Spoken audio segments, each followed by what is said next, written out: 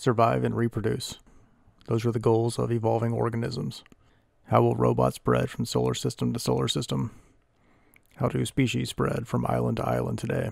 When a new island is created by volcanic activity in the middle of the ocean, the first species to arrive are the pioneer species.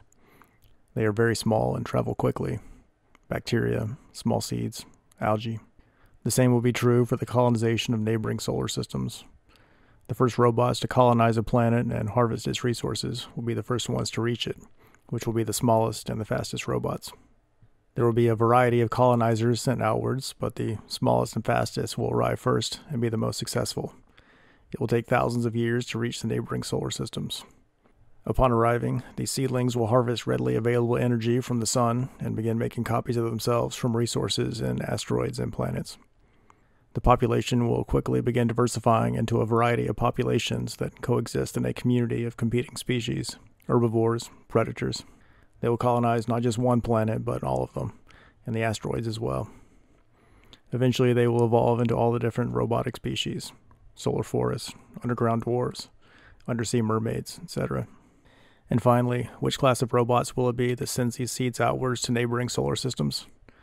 I think a likely candidate would be the astronaut merchants who transport minerals from the planet's surface to the space dwelling robots above.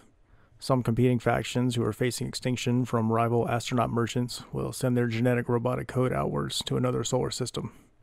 These robots care about survival and reproduction, and another solar system will be their best available option or it may be the asteroid dwelling robots that find the competition for resources to be too dire, and so they spread their seeds in another system entirely. Or maybe it is the lions of the solar jungles that are faced with the waning light of a dying star. What would an alien invasion of our own planet look like? What characterizes these pioneer species? They are small, they are fast, they are resilient, they are ubiquitous.